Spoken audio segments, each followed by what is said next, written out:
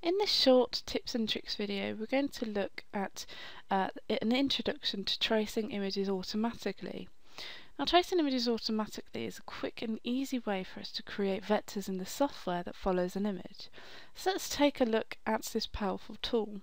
So the first thing that we need to do is actually bring in an image so we can go to this icon here, import bitmap for tracing.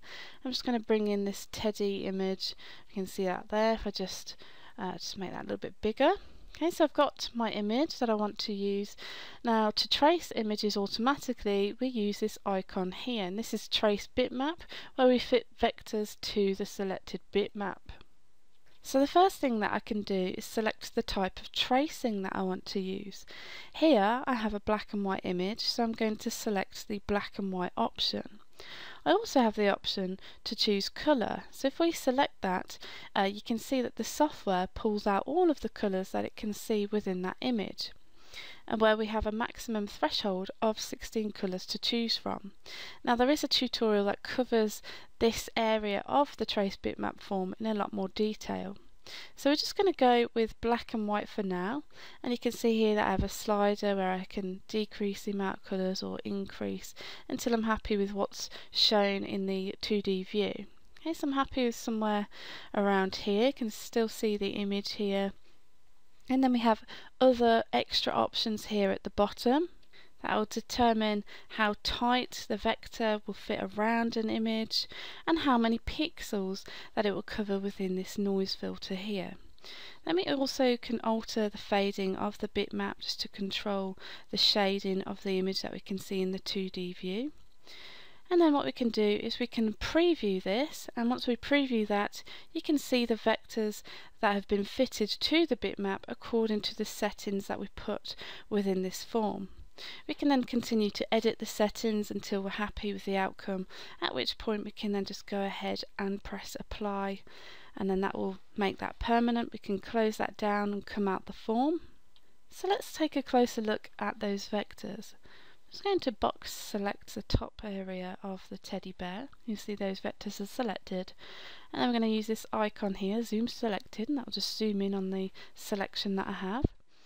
Now what I'd like to do is just take one of those vectors and just go into node edit mode just to take a look at the nodes within that vector. So we can do that by clicking on this icon here or I could press N on the keyboard to access that as a shortcut key.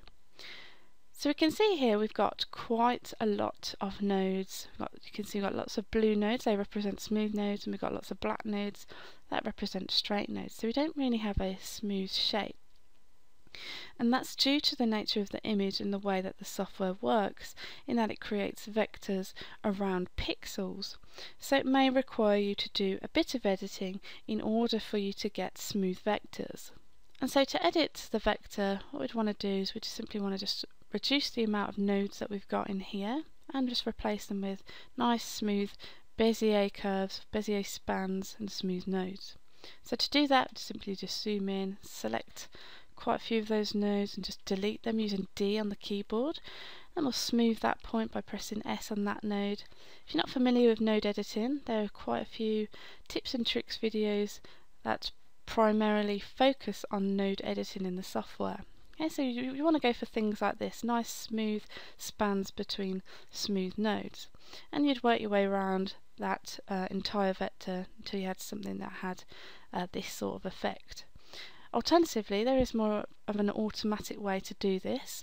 Uh, you can have your vector selected and use this option here, Fit Curves to Selected Vectors.